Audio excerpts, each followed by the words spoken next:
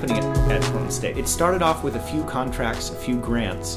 The number of experiments and things has continued to build and support both our, our research, our fundamental research, but as well as the flight experiments that we currently have on the space station.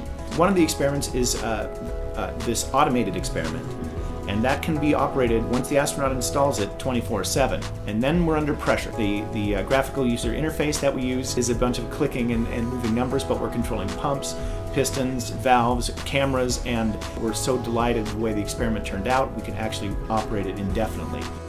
On this project I was one of the uh, operators. I would control the experiment from uh, on the ground here, send up commands to uh, the space station, and the experiment would essentially do do what I told it kind of remarkable, actually. We're able to just send up commands to the space station, control what's going on up there. Well, I find that pretty amazing.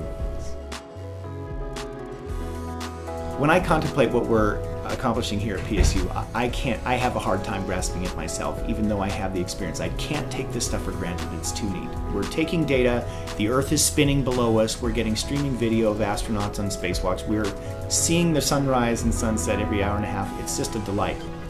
Now, if I was a student, it being part of that, it just is an exposure to a whole line of work. The things that NASA does are very exciting. To be part of that is just a just a delight. The students are getting experience meeting these folks, training astronauts to do the experiments, working on the details of their experiment, and then publishing the results in the highest journals. We really think we're going to make a, a splash with this. It's really an experience. So we're pretty lucky to uh, have that experience here at PSU.